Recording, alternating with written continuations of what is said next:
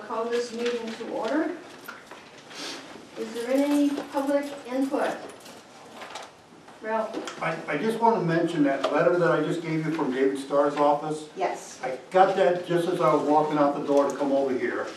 And of course, I'm not, I don't really know how to put people's names in the send you emails, but tonight, later tonight, when I can write you all in there, I'll, I'll email you the things so you've got it on email.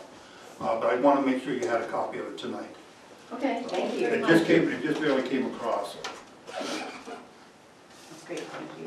Thank you. Any other public input? Okay, the first thing on the agenda is approval of the January tenth bond hearing minutes. Do I hear a motion? So moved. Do I hear a second? Second? Any errors, corrections, or omissions that you're aware of? Hearing none, all in favor? Aye. Motion carries.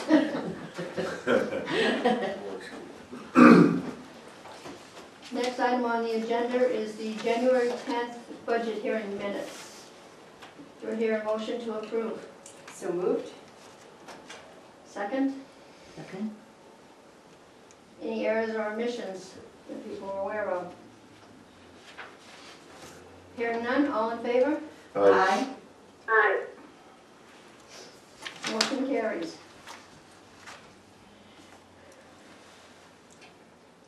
Um, The next item on the agenda is the January seventeenth school board and town budget committee meeting.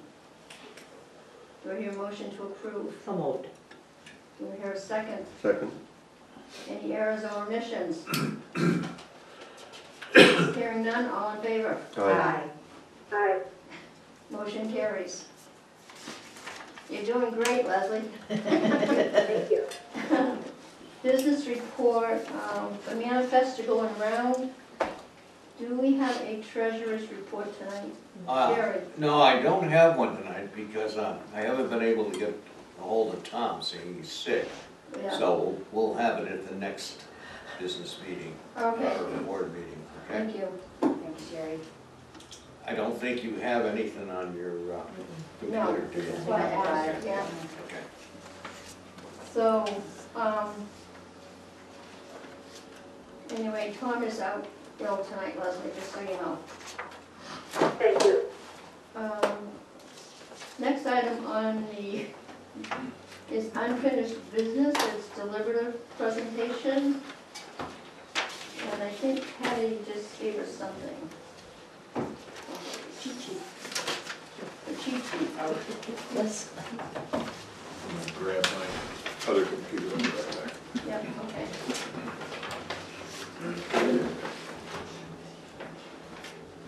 So Leslie, we have just a deliberative session um, cheat sheet, if you will. It Talks about Article One is to elect the following school district offices. School board moderator, district clerk, and treasurer. The second one is about acquiring land and engineering service which is recommended by the school board and recommended by the advisory budget committee, seven zero. That motion is be by me and seconded by Kim Woodson. And then I will go on my talking points. Um, The operating budget is Article three. um, And that's recommended by the school board, five to zero, recommended by the advisory budget committee, five to two. I will motion that, and I believe Kim is gonna second it. And then we all get up to talk about, I'm talking about reg- regular education. Kim is doing the twelve hundred series, including the thirteen hundreds. Leslie, you're doing the 1400, 1600, 2112, and 2113. Greg, you're doing the 2120s down through the 2500s. Yep. And Millie, you're doing the 2600s through to the 2844s. Yes. And um, Tom is supposed to do the property 4000 down to 5250. Um, we're making plans for him to be here on the phone because he won't be able to travel, including the default budget. Any questions at this point? Yeah, gonna go through Article Oh, Article four. Oh yeah. Okay, so Article four is the professional staff agreement.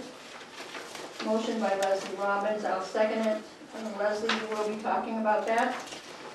Yes, I'm ready. Okay. And then Article five is a special meeting for the defeated agreement. Um, That's gonna be moved by Greg and seconded by Millie. Yep. Yep, they said yes. Yes.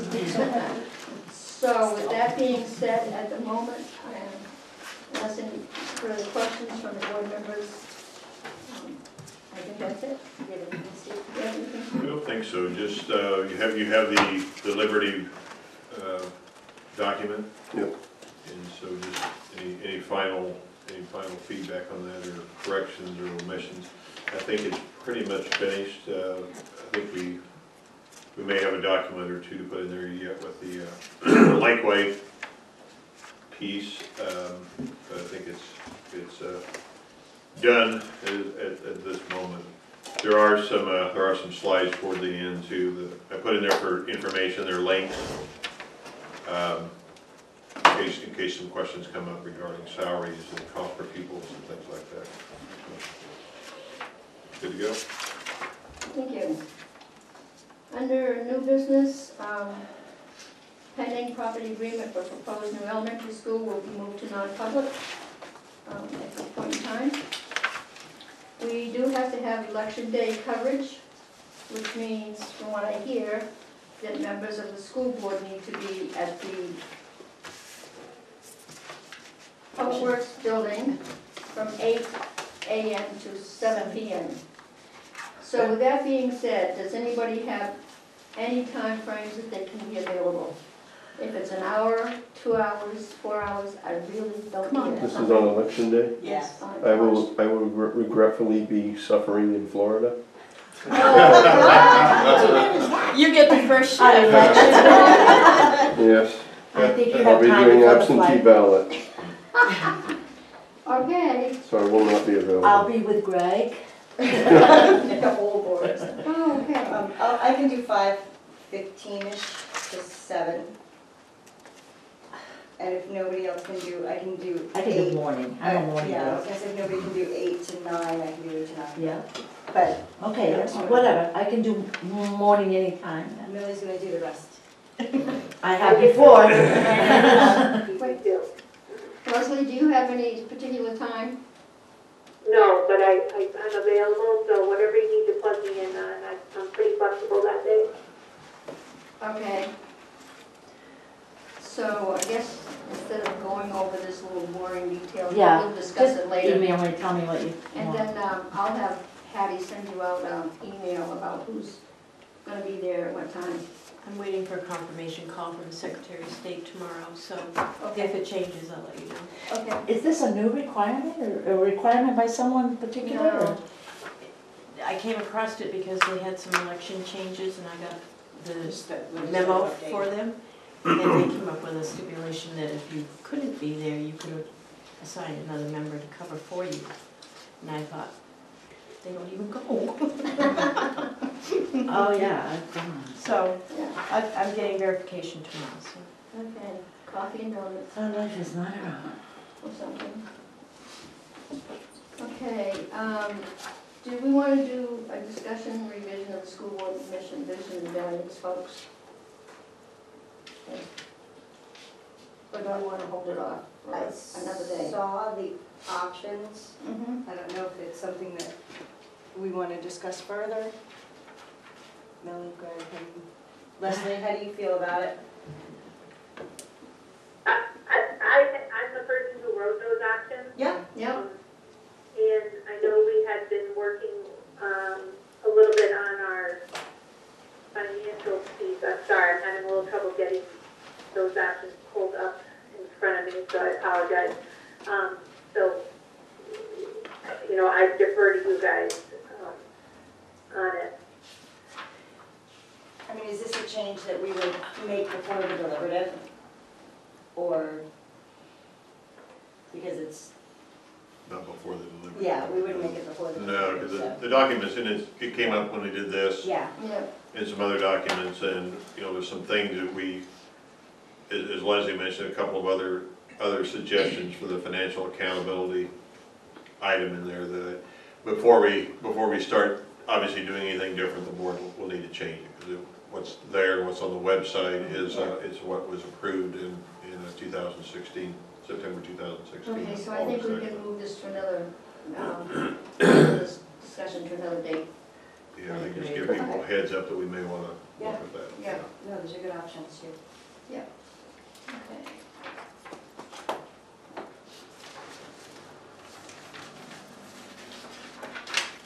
Um, The Berry's transportation contract. Has everybody had a chance to look at it? Yes. Yes, I read it. Okay. Um, just so you know, everybody, we've had a contract with this gentleman, W.W. Berry, since July first of two thousand and six. So, one, two, three, four. This is about our fifth contract, or fourth contract. Um, I have no problems with it. I think the wording says just about the same as it did before. Yep. Um, And actually, the year, the beginning year of the next contract is the same fee as the year of the last old contract. So that hasn't gone up. Um, I think the only thing that has gone up is the, uh, the wait time, but it holds pretty true for about three years before it goes up a little bit more. So I would entertain a motion to accept their transportation contract. So moved. Is there a second? Second. Second. Any further discussion? Hearing none? All in favor? Aye. Aye. Motion carries. Uh, The next item on the agenda is a school town MOU discussion, and I believe, Kim, you're gonna talk about that? Yeah, we had our third meeting with Parks and Rec and, and the town last Thursday. It was out of the three meetings, it was probably the most beneficial for all. Um, Just a little background on why we started meeting um, back in 2017 when we were going through the budget process. We were going line by line and analyzing every single dollar that we spent, as we do every year. But in this case, a question came up as to the amount of money we were paying Parks and Rec. Um, For years, it was around $2,000, and then it went up to $6,000 with just the tagline field maintenance. There was really no um, detail on what that field maintenance required, so we requested that Steve and Andrew Dorset get together and meet so that we could kind of hash out what that $6,000 was for and compare it to the use of parks and recs in the town of our buildings. Um, We did ask Tom Mangles, the business director, to hold off on making that payment until we could meet and assess and analyze what this money was for. Um, Unfortunately, a little bit of time went by before we were able to coordinate meetings between our office and the um, town office. But when we finally did, we met back in October. And the two meetings, starting in October and December, I believe, were really designed to give each other information and say, this is what we do, this is how we do it, this is how much it is. Um, We didn't really move past that point until this last meeting on January 31st, where we were really able to recognize the contributions of Parks and Rec. They were able to recognize what the school district offers. And sat down and, and decided that moving forward, we would um, meet, Parks and Rec would go back and meet with the town, and we would come back and present to the board as to what we felt would be a beneficial memorandum of understanding between the two parties. So that's where we are at right now, and we're hoping in the next couple of weeks to have a final decision on where that stands. Any questions from the board members? So at this, at this point, you don't have any, do you have a draft MOU? that We you're don't have a working on? draft MOU because there were people that could not be at that meeting on Okay. Thursday. And so um, Karen and Chris were going to take that information back. So we, we can't say that there's a complete resolution until we have an agreement from the town Okay. side. Okay, any other questions? Thank you, Kim. Uh, Committee reports, Uh, personnel, uh, don't think you've had one. I had to cancel, did, did you still meet? You did? Oh, what personnel? No, I'm No. sorry. No, I no, we didn't. No, I'm You sorry, did my not, mind was okay. already on something else. But we're working on a couple of jobs. Yeah, okay, yeah, okay. We bring- Facilities uh, was canceled last Friday, this Friday, the 8th at 7:30 at the SAU. And then policy, because we're working all the time. We have policy ADB slash GBEC. In other words, GBEC is the identical policy to ADB, it's just in a different, in a different flow of things in the policy place. It's drug-free workplace, drug-free schools revised first read and adoption. So, any, any, has the board members read this? Are there any questions? I haven't read it till just right now. One minute. I read it, I thought it was good. Good enough for me. I've read it as well. Okay. Do I have a motion to, um, accept this first read and adoption? So moved. Second? All in favor? Aye. Aye. Aye, motion, motion carries. Uh, the next, oh, I didn't see this one, The tobacco products, did you put that on there? Okay. So the other one, Yeah. It's number two, huh? it's the second one down. Yeah, I've got it on here, I didn't see it earlier today. GBED slash ADC slash JICG, they're all identical pol- policies in different areas. It's about tobacco products, ban use and possession in and on school facilities and grounds. So if everybody has had time to read it, um, I would entertain a motion for first reading adoption unless you Leslie, you good? Yeah.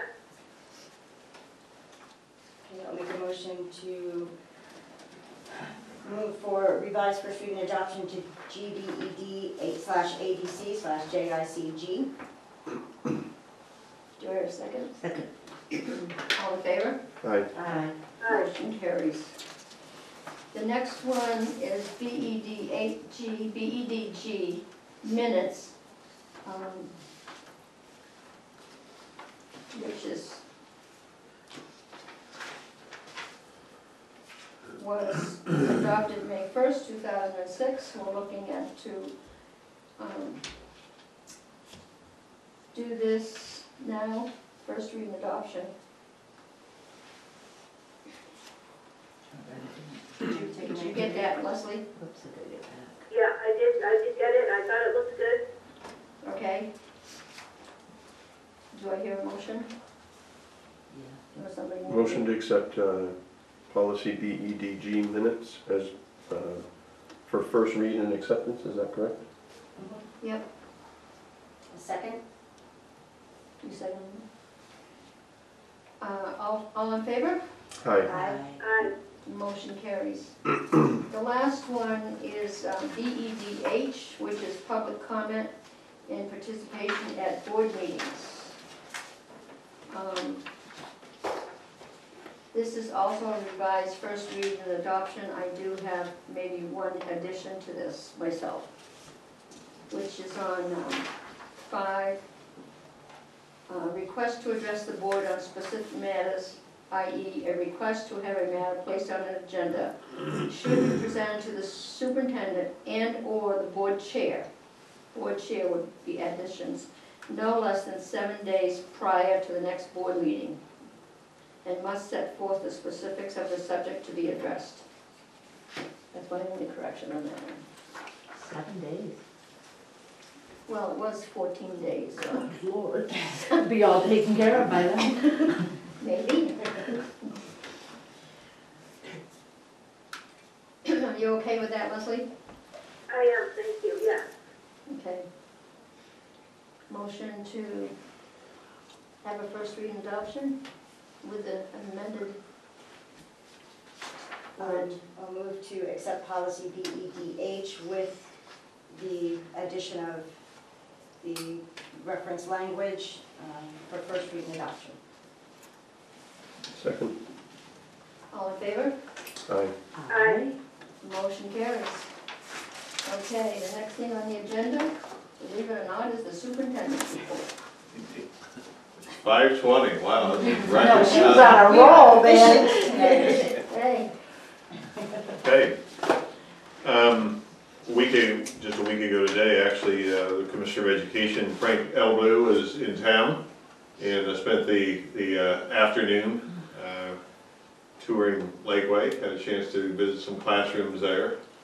And uh, visit the building again, look at the building again as well. And uh, he followed that up with uh, some time over at the Career Tech Center, uh, touring some of the programs, hearing from um, some of uh, interns that are, students that are out and doing their internships, and then, then we were happy to host him for a, a- a spell with, uh, with the administrative staff and, and members of the board as well, and then that, he finished his day uh, by spending some time at uh, above the Notch Community School, and got to observe a, a class, uh, in this case, it was an art class, and spent a lot of time talking to the students, and then also finish it off by, by uh, hearing from a student who had, an adult student actually, in the community who had, who had finished his uh, diploma requirements and was very grateful for the opportunity to do so, and also got to uh, watch uh, a student, a new student become enrolled uh, at the school and, and watch that process. So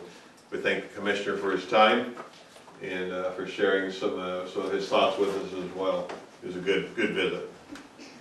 School band, we have 12 individuals who received uh, the the driver training. That was in two different sessions. The first session was right before Christmas on a Saturday morning, and the second session was this past Saturday. Yeah, the one that was 16 below when it began. Um, We're lucky the van was parked inside, but uh, training is, is finished at this point now. We just have to get the twin mountain and pass that test. And uh, those individuals that are able to pass the test then will be certified as a bus driver. uh, And, and be, uh, have all the qualifications, at least uh, the certification qualifications to drive the van. Um, School building aid, and I know you, you hear about this, it's in the news some, it's definitely uh, high, high profile and hopefully high priority among the legislatures, uh, the legislators in the legislature this year. And uh, certainly will be prominent, I'm sure, in our discussions Wednesday night as we talk about Lakeway and, and going forward. But a lot of work is, is ongoing. I do know that there are community members that have reached out to various uh, individuals in the legislature as well uh, to, again, to voice their support for that. And seems like we do have some upcoming visitations and some other, some other things happening there. So I think that's really important uh, that the community reaches out and, uh, you know, voices, voices their opinions with our legislators, uh, regardless of how they, how they believe a, a certain bill or a certain, uh, topic should go. Special education funding, another, another, another topic I think will be prominent, uh, come Wednesday night as we talk about our overall budget. But, uh, again, I just want to reiterate, we talked to the commissioner about this a little bit the other day too, of this, uh, growing, I think it's a, it's a funding crisis. I think it's, I think it's to that point in many schools. Uh, the, the cost, the cost of meeting the needs of all students, especially students with the most severe needs. And, uh, certainly, we're hope, hopeful that going forward, some, some, some action will be taken on that to look at how those costs might be, uh, apportioned so the school districts aren't required to pick up hundred percent of the cost of students that are, that are placed uh, for twenty-four hour care. And, you know, I think we, in so, in saying so, we want to, we want to, uh, again, affirm our support you know, for those families and students who are unfortunate enough to be put in that position, we, we certainly understand the need to educate the students and support the students and do everything we can to make sure that, uh, they are safe as well as, uh, uh, as learning, but, uh, we hope, as with everything, that if we look at the overall funding picture in the future, that there might be some relief with that. Our overall budget process, uh, this year, uh, you know, began, began in July, really. Uh, that, that- was a, a, right? Uh, my, my, my, uh, building principals and directors to give me the first, first run of their budget, and then we did nothing but cut it from then on. Which is true. No, I, I think it scrutinized it, we worked through it, we looked very carefully, I think everyone worked really diligently with that. Um, and I think that, you know, we've certainly put a lot of time and effort and due diligence in, into the, into the budget process. We've met with the town budget committee a total of six times. Um, and as a board, uh, besides having, having some discussion about the budget during the regular meetings, uh, we had a number of special work sessions that, that the board, uh, was involved with as well as the administrative staff, and I, I lost count of those, but it was, it was several. And, uh, you know, again, as, as things get more complicated, as we, as we work through things, uh, I just, I think it just needs to be on the record that, that that certainly a, a lot of time and effort went into it. We'll find out Wednesday night how the town feels about the work that we've done and, and, uh, how, give us some direction going forward. But I want to thank, uh, all those individuals. Voter information document, which, uh, which is this, this, this document that's, we've distributed a bit, made available to, to several events. Um, but I, and I think will be made, will be made available uh, Wednesday night as well, but, uh, hope people, uh, are able to access this, and I think most importantly of all, not this document, but, uh, as people begin to, uh, to look at the different things we're doing with the schools and- and with our budget in particular, that they access our website, uh, if possible. And, go into that nice hot topics button and you'll see, you know, you'll see things there, the, the, the things that we're featuring in the hot topics area right now are, are two big initiatives, that's Lakeway and all the work of, uh, of the Lakeway Facilities Advisory Committee, and then, and then just documents, uh, relative to our budget, uh, including the, the very large document that, uh, is 80 82 pages. Um, and that's not even the biggest document that it can get, but that's the most detailed document that we have for the, for the publication. So, it's a, it's gonna be a big week, busy week with a, with the delivery session coming up, and again, I thank everybody for their effort in preparing. Okay. Need a motion to go into non-public. Please. I'll make a motion to enter into non-public session under paragraph two, section three of the RSA ninety-one A colon three of the right to know law for number three, matters which if discussed in public would adverse, would likely adversely affect adversely the reputation of any person other than a member of the board. Number four, consideration of the acquisition, sale, or lease of real, of real or personal property. Anything else? Number seven. And number seven, seven, consideration by a school board of entering into a student or pupil tuition contract authorized by RSA one ninety-four or RSA one ninety-five dash A. Taking with us the superintendent, Yeah, principals and directors, please, And- and Patty, yes. Patty, the principals and directors. Okay, roll call vote, second? Who seconded that? Oh, I did. Greg Cook. Ray Nelson. Kim Woodson? Leslie? Leslie Roberts? Okay, we're in.